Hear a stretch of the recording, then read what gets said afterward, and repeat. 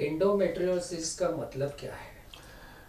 Endometriosis का मतलब ये है कि गर्भथैली के अंदर का जो हिस्सा होता है, जो यहाँ पे आपको ये ब्राउन कलर में दिख रहा है, ये आम तौर पे थैली के मुख के द्वारा योनि मार्ग से निकल जाता है, इसे आप माहवार कहते हैं।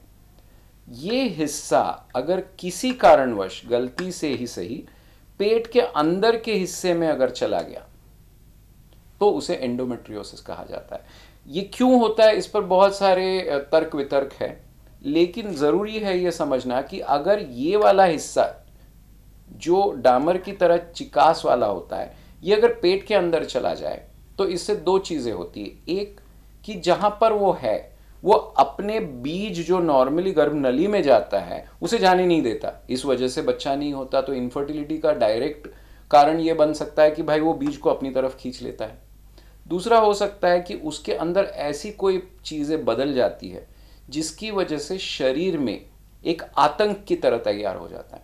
वो आतंक गर्भ थैली को अपना काम करने नहीं देता। अब तीसरी चीज़ ये होती कि ये जो एंडोमेट्रियोसिस है, वो चिकास वाली चीज़ है, जैसा मैंने बताया। जब मासिक आ जाती है बहन की, तब उस वक्त पे वो जो है, वो अपनी तरफ़ मैग्नेट की तरह शरीर के और हिस्सों को मतलब पेट के अंदर के हिस्सों को खींच लेता है और उसे चिपका देता है। तो तीन तरह से ये एंडोमेट्रियोसिस हमें तकलीफ़ देता है। एक तो वो धीमे धीमे बढ़ते जाएगा, दूसरा वो अपनी तरफ़ बीज का और ट्यूब का काम करने सही नहीं देता, और तीसरी चीज़ जो है वो सारे बाकी के जो पुर्जे हैं पेट के, इनको वो चिपका के लेता है अपनी तरफ़।